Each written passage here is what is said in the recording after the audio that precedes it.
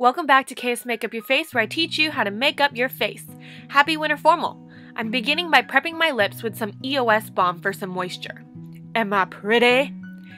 Then I'm going to fill in my pores using the Maybelline Baby Skin Pore Eraser and I'm blending it out with my ring finger.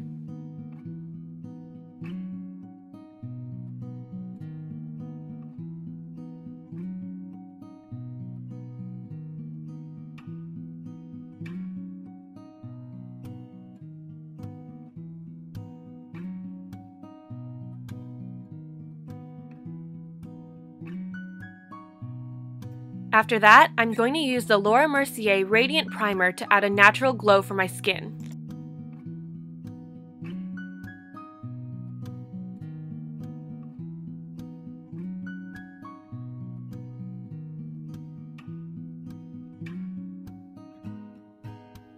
If you accidentally put too much, just use a blending sponge to blend it all out and it'll make it all better. For foundation, I had full coverage in mind and wanted to use my new Sephora Perfection Mist Foundation. If you're wondering, I'm in the shade Medium. Also, when applying this, I sprayed it on the back of my hand and it left a red splotch on it. Definitely not the most comfortable experience I've had.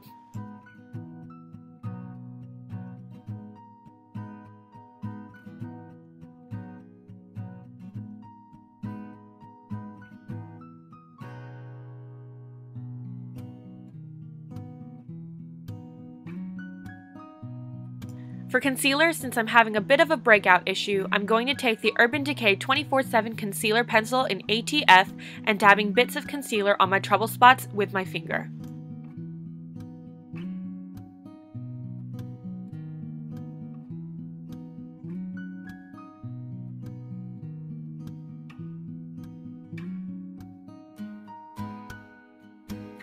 Then, for under eyes, I'm using the Maybelline Instant Age Rewind Concealer and creating a harsh upside down triangle underneath the eyes to get the most highlighted effect. I also place the product on my forehead, down my nose, and on my chin where I'd like a bit more of a brightened look.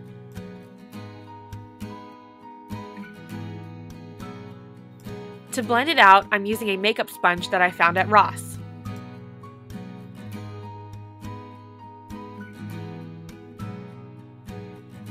For setting powder, I wanted matte, but not too matte, so I selected the NARS Light Reflecting Loose Powder and applied it generously all over my face.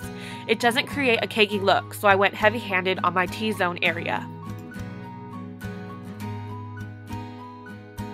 As you can see, my hand is still suffering from that foundation spray attack.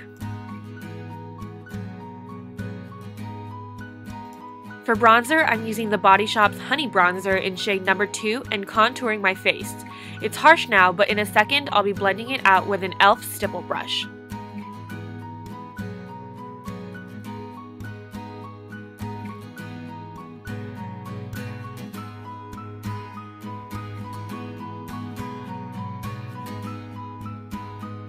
For blush, I wanted my cheeks to be rosy all night, so I'm using Tarte's Cheek Stain in Blissful for a pink cheek and topping that off with the Balm's Instain blush in Argyle.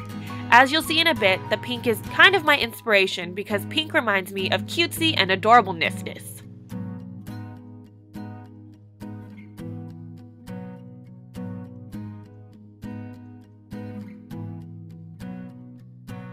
Then, beginning with highlighting my face, I'm starting off with my Revlon Photoready Skinlights in Bare Light as a liquid highlight. Then, I'm going to set it all off with the Maybelline Face Studio Highlights in Nude.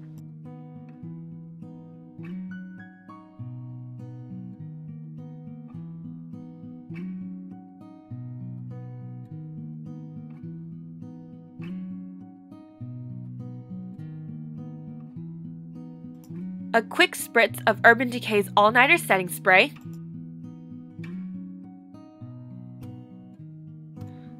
Oh, yeah, got some in my mouth.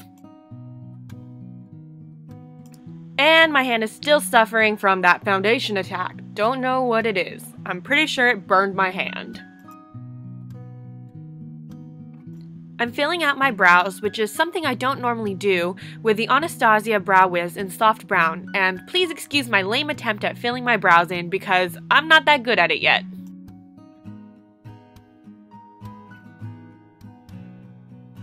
To set my hairiness, I'm using the Anastasia Clear Brow Gel to not only get rid of any harsh lines but to tame the hairs as well. Moving on to the eyes, I'm beginning with the Urban Decay Primer Potion and blending it out with my ring finger.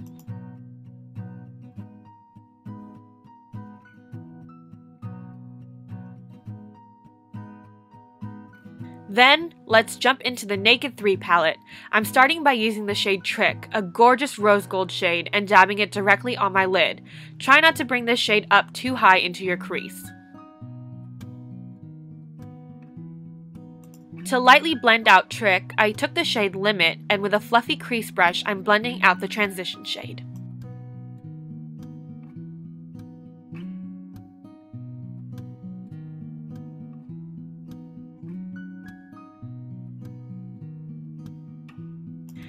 Nothing on this brush, but just blending out any additional harsh lines.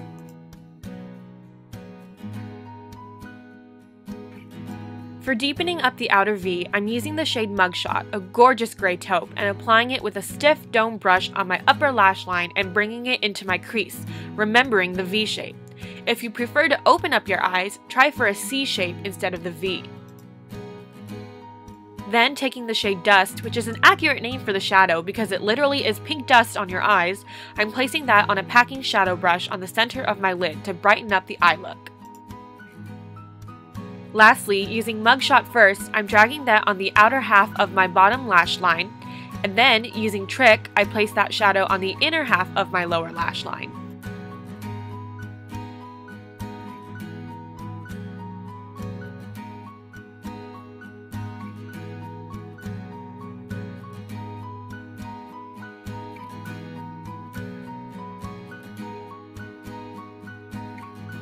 Another fluffy brush just to blend out my harsh lines.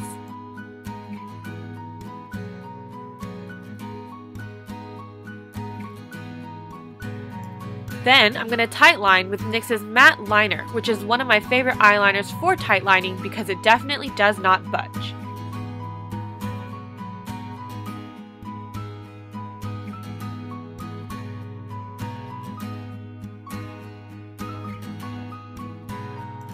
I also lined my lower lash line with Stila Smudge Stick in the shade Moray, which is a beautiful olive green for just a pop of color. Whatever your eye color is, choose a complementing shade as your pop of color.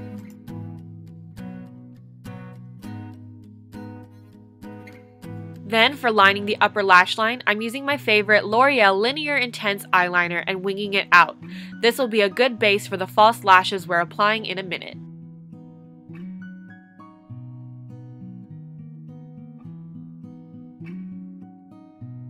I always like using the Red Cherry number 43 lashes because they're so natural, but add the tiniest bit of drama if you're still new to the false lash scene.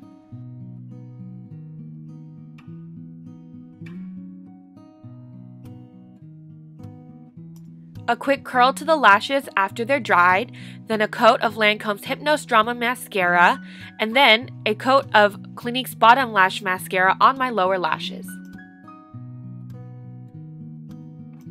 I highlighted the inner corner of my eyes with Milani's brow and eye highlighters in the pinky shade, using the shimmery side on the inner corners of my eyes and the matte side underneath my brow bone.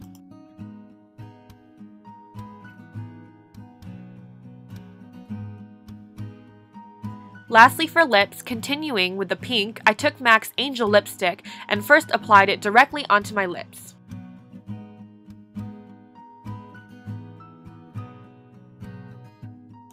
Then, for a bit of shine, I'm adding NYX's Butter Gloss in Creme Brulee right on top. One of my favorite glosses because it's moisturizing and definitely stays on.